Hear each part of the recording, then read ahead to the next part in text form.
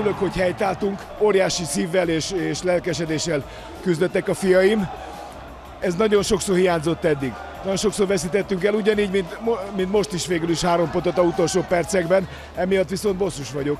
De remélem, hogy egy, egy, egy új időszaknak a kezdete volt a Budaörsi meccs is, bár ott 0-2-ről kikaptunk, de ez is, hogy, hogy ez, ahogy játszottunk, ahogy küzdöttünk, ahogy harcoltunk. És főleg a küzdeni akarás volt itt És úgy kiemelendő. érzem, hogy a közönségünket is nagyon sok bosszúságot okoztunk nekünk, de most a mai játékunkkal és harcosságunkkal visszaszereztük őket, remélem legalábbis.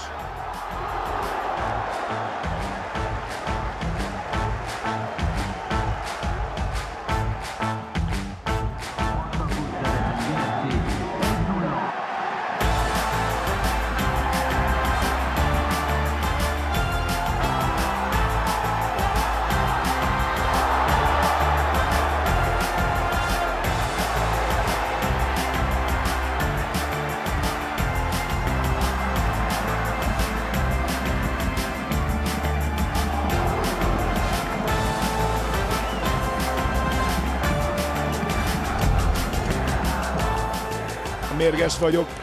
Egyrészt azért, mert, mert elfáradtunk a végére, és nem tudtunk már úgy cserélni. A másik meg meggyőződésem, de hát a játékos azt hogy két kézzel ellökte a grófa védőnket, és utána volt a lepattanó labdából szerezték meg a gólt. Tehát szabálytalan gól, én úgy érzem. Nem tudom, a tévében biztos meg lehet nézni, meg jobban lehet látni, de én innen kintről is úgy láttam, meg a játékos azt mondják, hogy szabálytalan volt.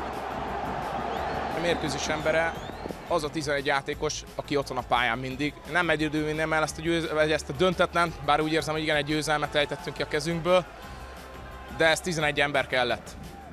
Folyamatosan azon dolgozunk hétről hétre, hogy nyilván ne kerüljenek vereségek a, a tarsolyba.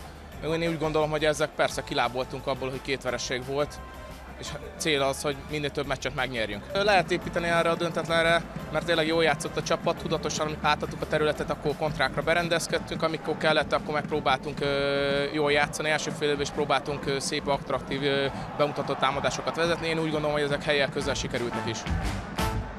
Nagyon jó örömű, izgalmas mérkőzés volt, igazi rangadó. Mindkét csapat nagyon sokat tett, nyilván a hazaiak is életük meccsét játszották, úgy láttam. Szögletén elaludtunk, és a Jánvári Gabi egy gólt tudott fejelni, aztán sokáig ugye nyilván innentől kezdve a hazai csapat kontrára játszott egyértelműen, nekünk meg építkezni kellett, és a pályatalaj egyre rosszabb volt, ahogy mentünk bele a mérkőzésbe, ezért jöttek a technikai hibák is, de hál' Istennek szerencsére azért a meccs legnagyobb helyzetét mi hagytuk ki, ugye a 5 méterről sikerült a kapust eltalálnunk, de szerencsére a végén sikerült kiegyenlítenünk, és ez nagyon fontos volt.